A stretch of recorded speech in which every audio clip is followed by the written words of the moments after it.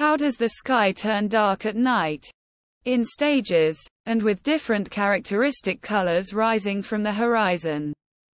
The featured image shows, left to right, increasingly late twilight times after sunset in 20 different vertical bands.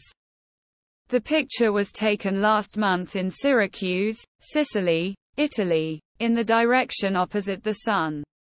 On the far left is the pre-sunset upper sky.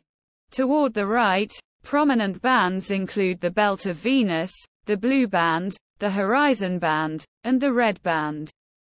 In practice, these bands can be diffuse and hard to discern, and their colors can depend on colors near the setting sun.